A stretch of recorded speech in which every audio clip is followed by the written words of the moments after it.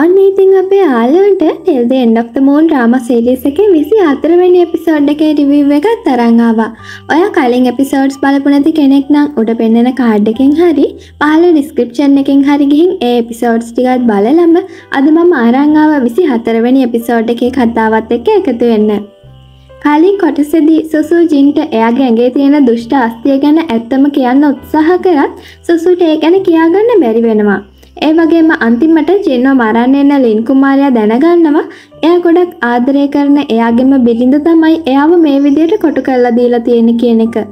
මේ හැමදේම ලින් කුමාරයා අහගෙන ඉන්නවා කියන එක බිංචන්න තාම දන්නේ නෑ. කොහොම හරි මේ අයගේ ජීවිතවල ඉස්තරහට මොකද වෙන්න කියලා දැනගන්න අද වීඩියෝගේ අන්තිම වෙනකම්ම අපිත් එක්ක එකතු වෙන්න කියලා අපේ ආල්ලොන්ට ආදරෙන් ආරාධනා කරනවා. වීඩියකට යන්න කලින් මතක් කරන්න ඕනේ ආතාම අපේ සෝල්රක YouTube චැනල එක සබස්ක්‍රයිබ් කරලා නැත්තා දැම්ම සබස්ක්‍රයිබ් කරලා ඒ ළඟම තියෙන නොටිෆිකේෂන් බෙල් එකත් කලික් කරලම මේ ලස්සනම ලස්සන ඩ්‍රාම එකේ විසි හතරවැනි එපිසෝඩ් එක කතාවත් එක එකතු වෙන්න.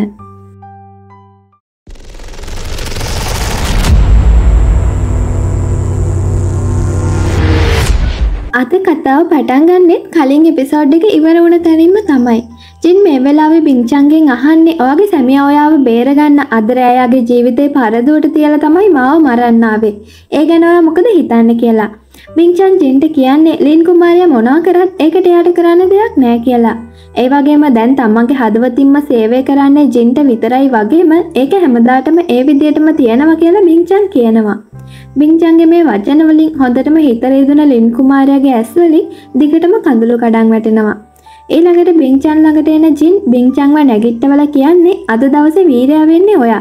ඒ නිසා මම ඔයාට ඒ වෙනුවෙන් තෑග්ගක් දෙන්න ඕනේ කියලා. මෙතන චින්යු ඉන්නව දකින ජින් අහන්නේ චින්යු මෙතනට ආවේ කොහොමද කියලා.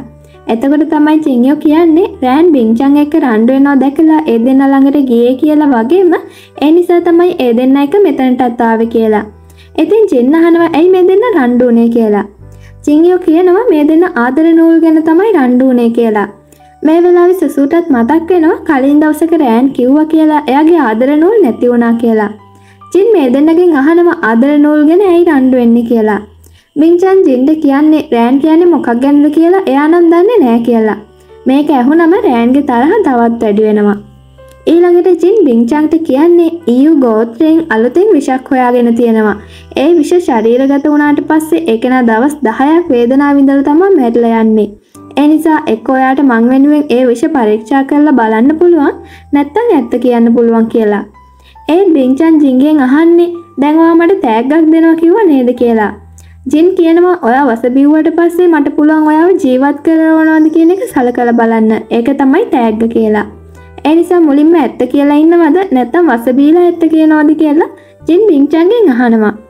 තමන්ට දැන් බේරෙන විදියක් නෑ කියලා තේරුම් ගත්ත බිංචන් ඇත්තම කියන්න තීරණය කරනවා. මීට අවුරුදු හතකට කලින් අහම්බෙක් බිංචන්ට රෑන්ගේ සැමියා මරණාසන්න වෙලා ඉදදි හම්බ වෙලා තියෙනවා. ඒ වෙලාවෙ රෑන්ගේ සැමියා එයාළඟ තිබ්බ රෑන්ගේ ආදරනූල බිංචන්ට දීලා තියෙනවා ඒක රෑන්ට ලැබෙන්න සලස්සන්න කියලා. ඒත් ඒක රෑන්ට දෙන්න ගියාට පස්සේ බිංචන් දැකලා තියෙනවා රෑන් කියන්නේ ගොඩක් ලස්සන කෙනෙක් කියලා. ඒ වගේම රෑන්ට ඒ තරම් ආදරය කරන සැමියෙකුත් ඉඳලා තියෙනවා. ඒ තාමත් තමන්ට ඒ කිසි දෙයක් ලැබිලා නෑ කියලා හිතන බිංචන් මේ ආදරනූල දිහා කෑදරකමින් බලබල ඉද්දි ඒ ආදරනූල බිංචන්ගේ ඇඟ ඇතුළට ඇතුල් වෙලා තියෙනවා. එතනින් පස්සේ බෙංචන් ගොඩක් ලස්සන වෙලා තියෙනවා වගේම නගරේ පිරිමින්ගේ ආකර්ශණය වැඩියෙන් ලැබෙන්න පටන් ගන්න තියෙනවා කියලා බිංචන් කියනවා. ඒත් බිංචන් කියන්නේ එයා ඒවා ආදරනූල් කියලා දැනන් හිටියේ නෑ වගේම ඒව තමන්ගේ ඇඟ ඇතුළට ආව එක හිතලා කරපු දෙයක් නෙවෙයි කියලා.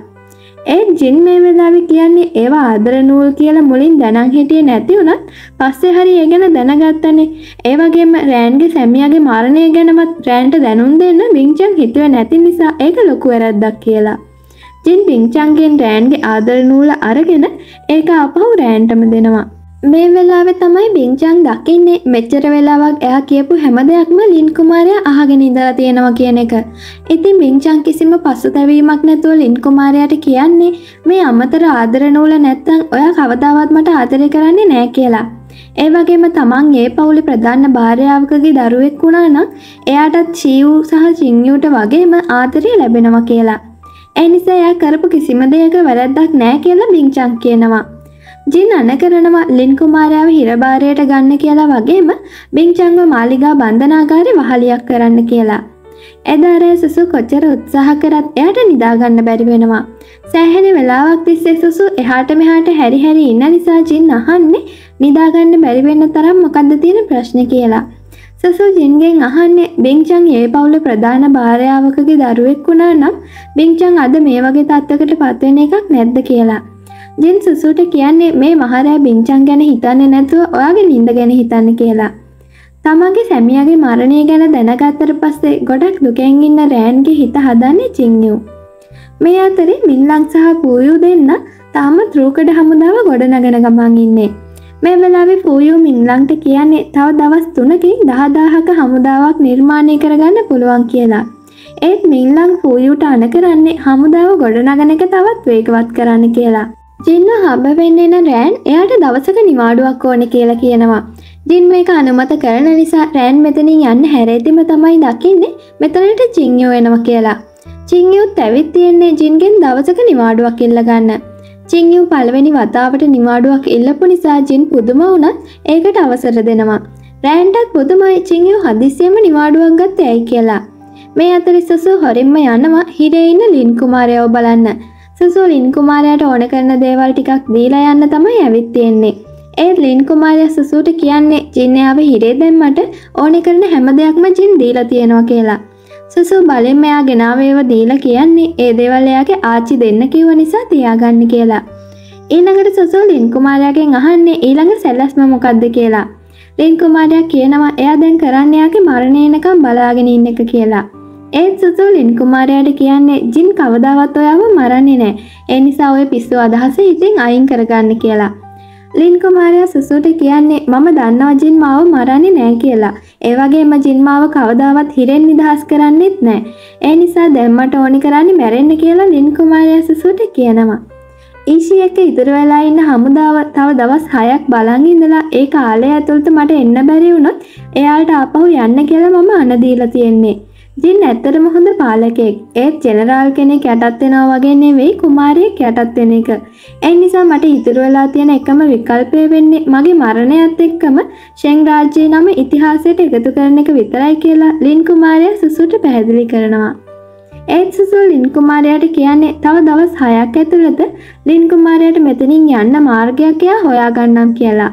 ලින් කුමාරයා මේකට විරුද්ධ වුණත් සුසු නම් මේක පිළිගන්න සූදානම් නැහැ. ඒ වගේම ලින් කුමාරයා සුසුගෙන් අහන්නේ ඔයා ෂීව් නෙවෙයි නේද කියලා. සුසු පුදුමෙන් අහන්නේ ඇයි එහෙම හිතුවේ කියලා. ලින් කුමාරයා කියනවා එයා ෂීව්ව පොඩි කාලේ ඉඳන්ම අඳුරනවා. ෂීව් කියන්නේ තව කෙනෙක් වෙනුවෙන් තමන්ගේ ජීවිතේ අනතුරු දාගන්න කෙනෙක් නෙවෙයි. ඒ වගේම මකර හීනෙන් ආව දවසේම ඔයා ෂීව් නෙවෙයි කියන එක මම තහවුරු කරගත්තා කියලා ලින් කුමාරයා කියනවා. කොහොම වුණත් ලින් කුමාරයා සුසුගෙන් එයා කවුද කියන එක ගැන අහන්නේ නෑ වගේම එයා මේ ගැන කාටවත් කියන්නේ නෑ කියලා සුසුට පොරොන්දු වෙනවා. අන්න ඉතින් සුසු ජින්ටත් නොකිය හොරෙන්ම ලින් කුමාරයාව හම්බ වෙන්න ගියත් මේක දකින නියන් මේ ගැන ජින්ට වාර්තා කරනවා.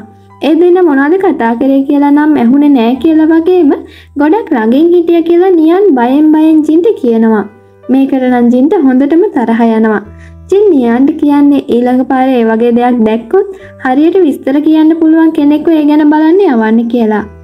මේ අතරේ බන්ධනාගාරේ ඉන්න බිංචන්ව බලන්න එයාලගේ ආච්චියනවා.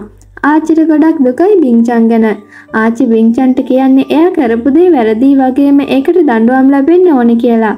ඒත් එයාලා හැමදාමත් බිංචන් එක්ක ඉන්නවා කියලා ආච්චි කියනවා. ආච්චි බිංචන්ට අරංආව ඇඳුම් සහ කෑම දීලා යන්න හදනකොට බිංචන් ආච්චිට කියන්නේ තව ටික දවසකින් එන අම්මගේ මරණ සංවත්සරයට ගෙදර එන්න ශිව්ගේ මාර්ගයෙන් අවසර අරන් දෙන්න පුළුවන්ද කියලා. ශිව් එක්ක මේ ගැන කතා කරන්නම් කියලා ආච්චි මෙතනින් යනවා. ඊළඟට අපිට පෙන්වන්නේ හදිසියම නිවාඩු දාලා මාලිකාවෙන් එළියට යන චිංයු සහ චිංයු මේ කොහෙද යන්න කියලා බලන්න හොරෙන්ම පස්සෙන් යන රෑන්ව. රෑන් මේ වෙලාවෙ තමයි දැනගන්නේ චිංයු තමන්ගේ මැරුණ සැමියා වෙනුවෙන් සොහොන් කොතක් හදලා ඒකට ගෞරව දක්වන්න තමයි මේ ඇවිත් තියෙන්නේ කියන එක. ඒ වගේම චිංයු මේ වෙලාවේ රෑන්ගේ මියගිය සැමියාට කියන්නේ එයා හැමදාම රෑන් හොඳින් බලාගන්නම් කියලා. මේක බලාගෙන ඉඳලා රෑනුත් මෙතනට ඇවිත් එයාගේ මියගේ සැමියට ගෞරව දක්වලා කියන්නේ එයාට දැන් රෑන් ගැන වද වෙන්න එපා කියලා. මොකද චිංයයාව හොඳින් බලාගන්නවා කියලා රෑන් කියනවා. ඊළඟ දවසේ ජින් සුසූට කියනවා එයා බිංචන්ට දවස් දෙකකට ගෙදර යන්න ඉල්ලපු එකට අවසර දුන්න කියලා. ඒත් ජින් සුසුට කියන්නේ බිංචං දැන් බන්ධනාගාර වහලියක් නිසා එයා ගැන ඇහැගහගෙන ඉන්න කියලා. ඔය විදියට පිංචංට දවස් දෙකකට ආයෙත් ගෙදර යන්න ඉඩ ලැබෙනවා. සුසුත් මේ වෙද්දි ගෙදර ඇවිත් ඉන්නේ.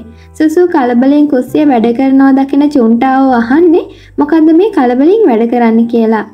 සුසු චුන්ටාවට කියනවා චින්ට කැඳ එකක් හදන්න ඕනේ ඒ නිසා එකට උදව් කරන්න කියලා.